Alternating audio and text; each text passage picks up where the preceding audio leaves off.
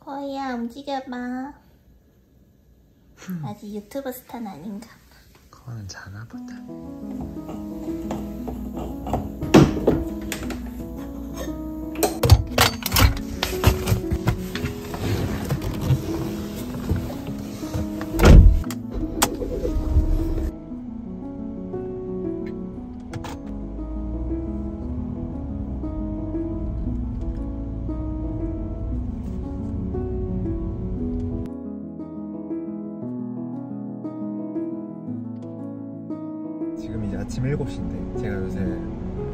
아침에 강남으로 헬스장을 다니거든요. 한 20분 정도 늦게 나오면 20분 늦게 도착하고 그러니까 정확하게 이제 40분이 더 늦어지는 거죠. 그리고 20분만 일찍 나오면은 20분 만에 갈 수 있단 말이에요. 그래서 이게 강남까지 헬스장을 가는 게 저는 좀 되게 비효율적이라고 생각했어요. 아유, 굳이 운동을 하러 이렇게 멀리까지 가야 되나 생각했는데 뭔가 제가 이 차 막히는 걸 엄청 싫어하거든요. 그러다 보니까 좀 더 빨리 움직이게 되고 오히려 되게 효율적으로 시간을 쓰더라고요. 제가 가는 헬스장이 굉장히 또 시설이 약간 황당할 정도로 좋습니다. 황당할 정도로 좋아서 제가 사실 강남까지 가는 것도 있는데 물론 이제 저의 좋다의 기준이 어, 일반적인 사람들의 좋다의 기준과는 좀 다를 수도 있어요. 그 관장님이 저를 아시더라고요. 저는 그냥 몰래 등록하러 갔는데 그래서 저한테 유튜브 찍지 말라고 하셔가지고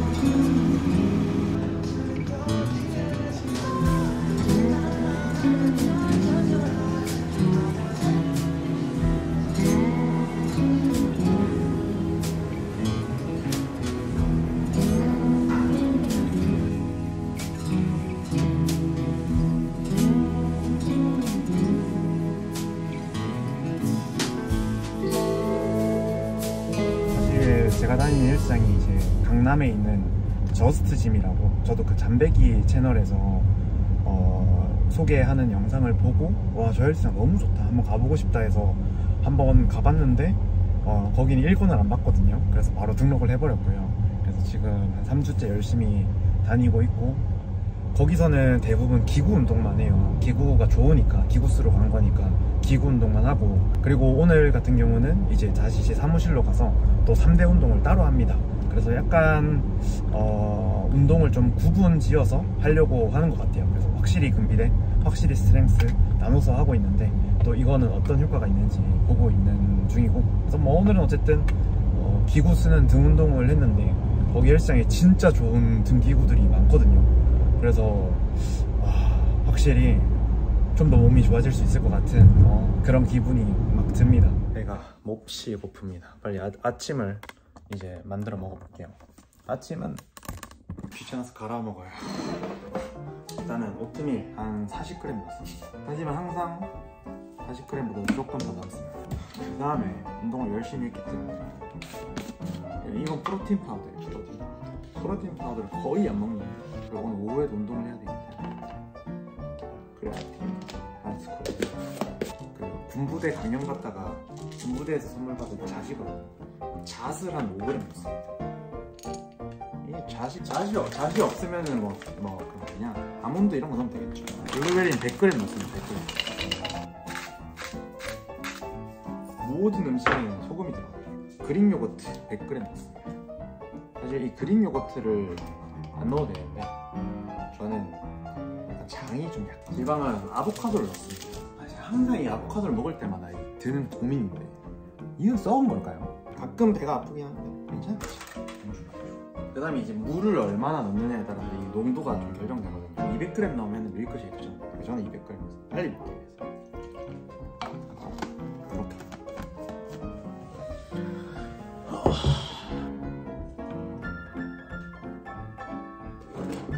스테비아 나는 체리 피커다. 요즘에 되게 많이 하는 생각 중에 하나가 체리 피커가 되지 말자 이런 생각을 하거든요. 항상 케이크 위에 있는 체리만 퍽 뽑아먹는 그 체리 피커가 되는 게 사람들은 똑똑하다고 생각하지만 알고 보면은 그거는 사회를 살아가는 데 있어서 멍청하기 때문에 그렇게 행동하는 거다. 내가 이 사회에서 혜택을 누리고 살기 때문에 나도 남들을 존중하고 뭐 그래야 된다 뭐 이런 거거든요. 운동을 할 때도 되게 많이 좀 적용하는 것 같아요. 그래서 사실 어, 헬스장에 갈 때도 늘 다짐하는 것 같아요. 저도 사실 스무 살 때 철없는 시절에는 좀 그런 게 있죠. 아무래도 헬스장은 뭐 보통 월 3만원에서 비싸면 월 10만원이니까 좀, 좀 접근성이 낮다고 해야 되나? 누구나 쉽게 올 수 있다고 해야 되나? 그러다 보니까 진짜 다양한 사람들이 많이 오는 것 같아요. 그래서 나랑 되게 다른 사람들을 만날 확률이 진짜 높은 것이 저는 오히려 헬스장인 거거든요. 진짜 지하철보다 오히려 더 다양한 사람들을 만나는 것이 헬스장이라고 생각하는데 내가 좀 운동을 잘한다고 해서 내가 좀 남들보다 아는 게 많고 몸이 좋고 뭐 키가 크고 덩치가 크다고 해서 체리피커가 돼버리면은 정말 무식한 일이거든요. 남을 존중하자 그런 얘기였습니다. 그래서 헬스장에서 절대 어, 몸이 좋다고 으스대지 마십시오. 그거 진짜 안 좋은 습관입니다. 사실 헬스장에서 몸이 좋은 거는 아무 의미가 네. 사회에 나와서 돈이 많아야 의미가 있습니다.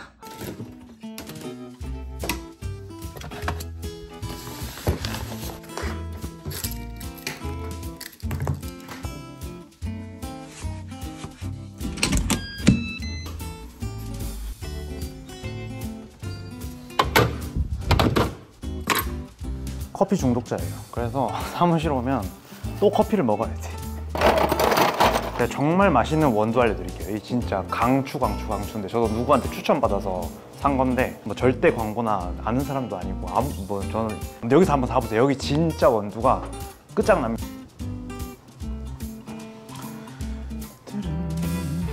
오늘은 택배가 하나밖에 안 들어왔네요. 김연주님 감사합니다. 아, 이 택배 기사님이 저희는 오후 12시에 택배를 수거하러 오시거든요. 와 근데 커피 진짜 맛있어요 저는 그래서 약간 밖에서 커피를 잘 못 사 먹는 것 같아요. 이게 주문이 많이 들어올 때가 있고 주문이 안 들어올 때가 있고 하나도 없을 때도 있고 하루에 막 주문이 몇백 개씩 들어올 때도 있단 말이에요.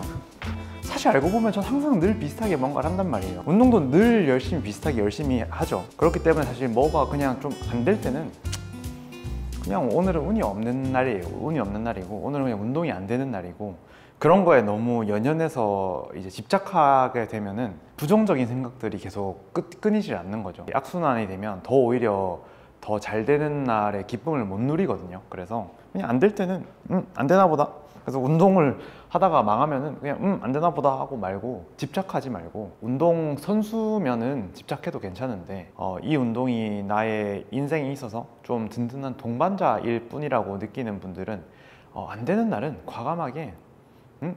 안 되는 날이야. 이렇게 하고 좀 웃어 넘기십시오. 웃어 넘기면 됩니다. 운동을 하면서 좀 인생을 많이 배운 것 같아요 네. 네이버 블로그를 좀 열심히 하거든요 대본을 다 쓰다 보니까 그 대본을 좀 놀리는 게 아까워서 한 달 정도 지났나? 됐는데 첫 수익이 발, 발생했어요 첫 수익 3원 꾸준히 하다 보면 이것도 수익이 많이 올라가는 날이 오겠죠 뭐 제 생각 같은 거 가끔 적어서 올리긴 하거든요 뭐라고 검색해야 나오지? 아무튼 뭐 어썸블리스 뭐 검색하면 나오지 않을까요? 안 나올 수도 있는데 한번 잘 찾아보십시오 네, 네이버에서 다는 광고가 있거든요 이 광고 이 광고를 이렇게 딱 클릭해주면 제가 봤을 때 수익이 들어오는 것 같아요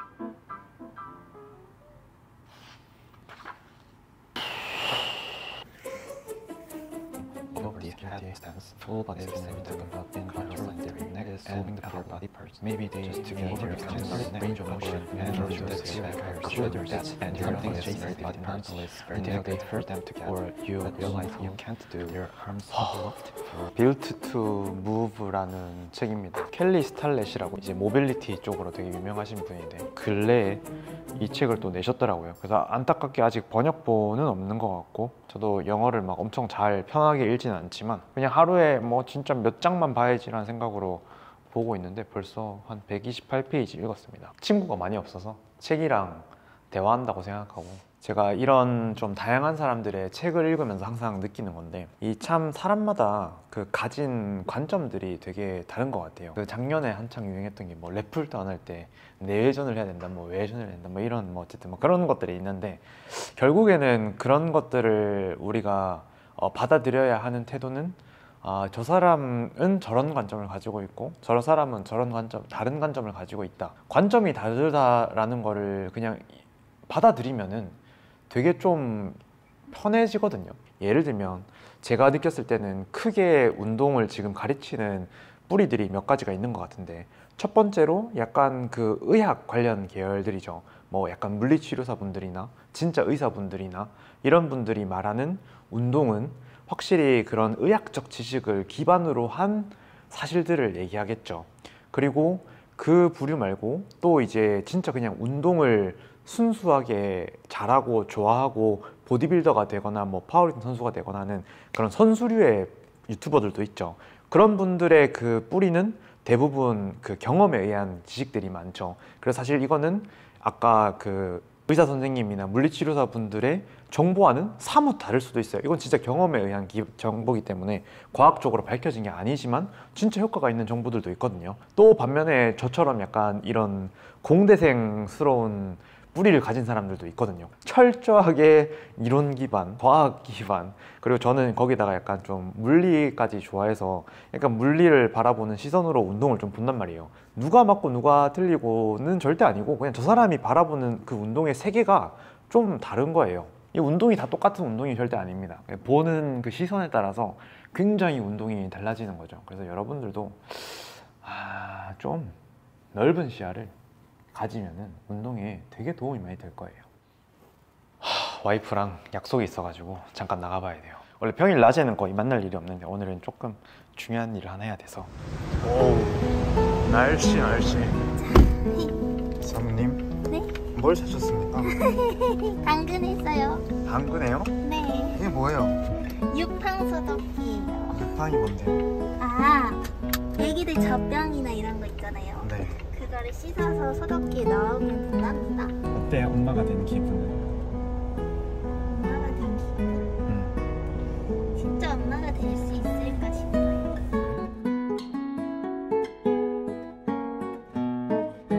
모든 걸 정해놨으면 좋겠어요. 약간 교과서처럼 네. 이건 꼭 사야 되고, 이거 사야 되고, 이거 여기서, 이거 저기서. 이렇게. 그러게 그냥 이거 국가에서 다 주면 좋겠다. 어, 그러면은 싸우지도 않고 브랜드끼리 그런 것도 없을 텐데. 하지만 그러면 자유시장 경제의 붕괴가 오겠지 지금. 그리고 국가에서 뭔가 돈을 많이 준다고 생각하지만 음. 실제로는 잘 안 주는 것 같아. 난 입돈약으로 100만 원을 샀는데 그건 진짜 말이 안 되잖아요. 입돈약이 그 비보험 급여라는 게. 그래, 난 그래. 뭐, 나는 그게 말이 된다고 생각하는 사람이지만 그래? 이런 이런 걸 말하면 티예요 이렇게 됩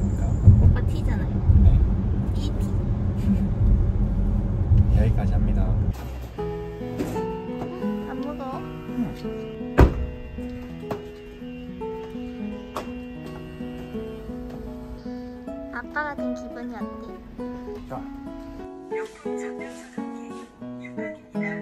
음. 뒤돌 뒤돌아보지 말고 가. 한 살이라도 빨리 깨달았으면 좋은 운동 원리 중 하나는 시간은 진짜 비싸다는 거예요. 이게 예전에는 사실 목숨을 걸던 때가 있어가지고 그때는 뭐 하루에 네다섯 시간씩 막 운동하고 그냥 밥 먹고 자고 이런 게 행복했는데 이제 나이가 들다 보니까 내가 가족과 보내야 되는 시간 그리고 내가 이 헬스 외적으로 이루어야 되는 성취들 이런 것들에서 시간을 보내는 것 자체가 더 현명하다는 생각이 많이 들었어요. 그렇기 때문에 내 시간을 허투루 쓰지 않는 게 되게 중요하다는 생각이 들었습니다. 그래서 제가 지금 이제 와이프랑 같이 뭐 당근도 할 수 있고 이렇게 할 수 있는 거는 내가 내 시간을 되게 아껴 쓰고 그래서 제가 오늘 새벽 6시에 일어나서 아침에 헬스장도 갔다 오고 하는 이유가 그런 거거든요. 그래서 내가 시간을 아껴 쓰면 아껴 쓸수록 더 내가 할 수 있는 일들이 많아지고 저는 사실 그런 거에 우선순위가 가족과 보내는 시간이 더 많은 걸 굉장히 높은 우선순위에 두기 때문에 최대한 운동 시간을 좀 아끼려고 많이 노력하는 것 같아요. 바쁘다 바쁘다의 하루입니다. 지금 3시 16분인데 4시에 미용실 가야 되거든요. 오늘 스쿼트, 벤치, 데드를 다 하는 날인데 벤치프레스만 딱 할 수 있지 않을까?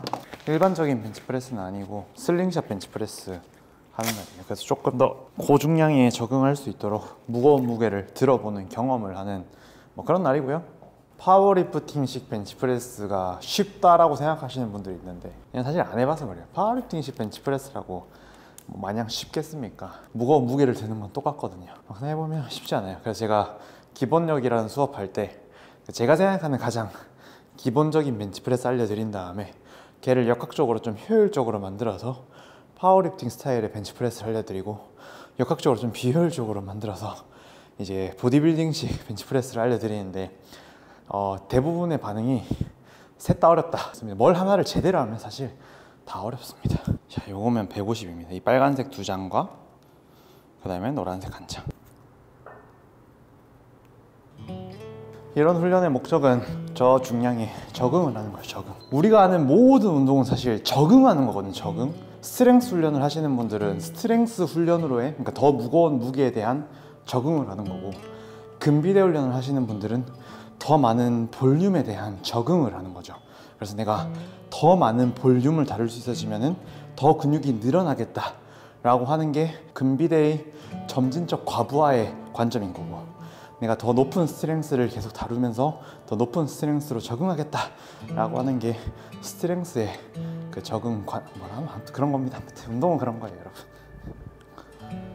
그 흔히 흔히 이제 우리가 이걸 back-off라고 하죠. 그래서 좀 무게를 낮춰서 하는 건데 back-off에서의 목적은 좀더 좋은 자세를 만드는 게 목적입니다. 아 운동하는데 시간을 어떻게 아낄 수 있습니까? 라고 하면은 사실 보세요. 저는 제가 무슨 훈련을 해야 되는지 명확하게 알고 있어요. 아 오늘 가슴 운동 해볼까 하고 들어가잖아요 이것저것 이것저것 하다 보면 시간이 엄청 오래 걸리는데 아 오늘은 요거 요거 요거 딱 해야지 하고 딱딱딱 들어가면은 운동이 금방 끝납니다 시간 없어서 운동 못 한다고 하시는 분들은 운동을 좀 이렇게 체계화를 시켜서 내가 할 것들을 딱딱딱 일목요연하게 정리하면은 이게 생각보다 운동에 시간이 많이 걸리지 않아요. 헬스장 가는 시간 오는 시간 샤워하는 시간 뭐, 뭐 그런 시간이 오래 걸리는 거지 막상 운동하는 데는 시간이 많이 안 걸립니다. 저는 미용실도 걸어서 5분이면 갈 수 있는 데 가거든요. 안녕하십니까. 사장님이 하는 미용실이 이게 확실히 직원의 마인드랑 사장님의 마인드가 좀 달라서 1인 샵 이나 사장님한테 가면 확실히 머리를 좀 더 꼼꼼하게 하는 것 같아요. 왜냐면 결국에는 다시 오게끔 만들어야 되니까. 저는 그래서 식당 갈 때도 사실은 사장님이 식당에 있는지 없는지 잘 봐요. 사장님이 아예 없는 그냥 프랜차이즈가 아닌 식당이다? 잘 안 가는 것 같아요. 네 고생하셨습니다. 네 조심히 들어가세요. 제가 생각했을 때 가장 이제 마지막으로 좀 드리고 싶은 말씀은 여러분들이 재밌어서 그냥 하는 정도의 운동은 사실 취미지. 사실 내가 진짜 하기 싫어하는 걸 하는 게 운동이라고 저는 생각하거든요. 스트레칭, 뭐 유산소 운동, 그 다음에 뭐 폼롤러 뭐 이런 것들 좀 여러분들이 잘 안 하는 거 많이 해주셔야 실제로 여러분들의 나중에 나중에 건강을 위해서 좀 많이 도움이 돼요. 그래서 이 운동을 어 좀 단기적으로 단기적인 안목으로 바라보지 마시고 내가 좀 장기간에 걸쳐서 꾸준히 투자한다는 시선으로 좀 여러분들이 잘 안 하는 거 어려워하는 거 하기 싫어하는 거에도 투자를 많이 하시고 결국에는 이거를 좀 더 잘하면 잘할수록 좋잖아요. 그래서 끊임없이 뭔가를 배우려 하시고 저는 그래서 지금도 사실은 계속 계속 누군가의 수업을 들으러 다니거든요. 배움을 멈추지 말고 계속 계속 이 몸에 대해서도 여러분들이 좀 투자를 하셔야 어, 나중에까지 이 건강을 계속 유지할 수 있으니까. 제가 제일 하기 싫어하는 스모 데드리프트 했습니다 이제는 제가 제일 하기 싫어하는 핀 스쿼트 해야 되는 차례입니다. 전 3대 운동이 그렇게 좋지 않습니다. 하지만 내가 싫어하고 힘들어하고 어, 그런 게 진짜 운동이다 라고 생각하기 때문에 어, 그런 걸 더 열심히 하려고 하고 사실 저도 기구에서 앉아서 하는 운동들 좋아합니다. 핀 스쿼트 이거는 제 생각에는 일반적인 스쿼트보다 한 1.5배 힘든 것 같아요. 약간 데드리프트를 하는 느낌이거든요. 약간 dead stop이 됐다가 올리는 거라서.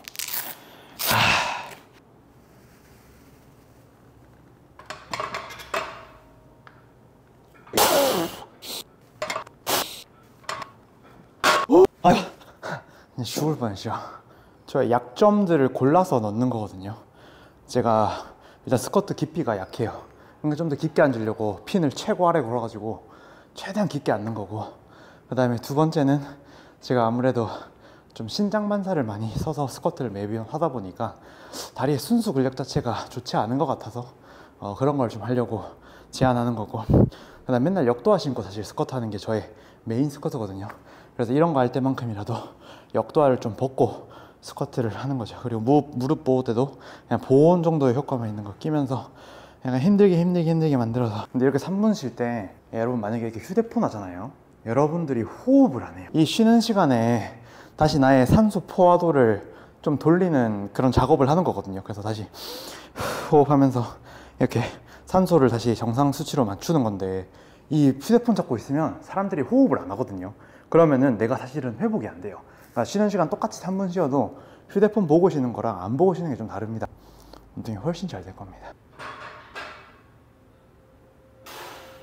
힘들고 힘들었던 오늘의 운동도 끝이 났습니다. 할 때마다 두렵습니다. 하지만 끝나면 뿌듯하잖아요. 어, 오늘 하루도 부상 없이 끝낸 걸 감사하고 그리고 이렇게 쾌적한 환경에서 혼자 스쿼트를 한 것도 감사하고 아 내가 남들보다 뭐 스쿼트 좀 못하면 어떻습니까? 그렇죠? 그냥 이렇게 하루하루 감사하게 살아가는 거죠. 저는 늘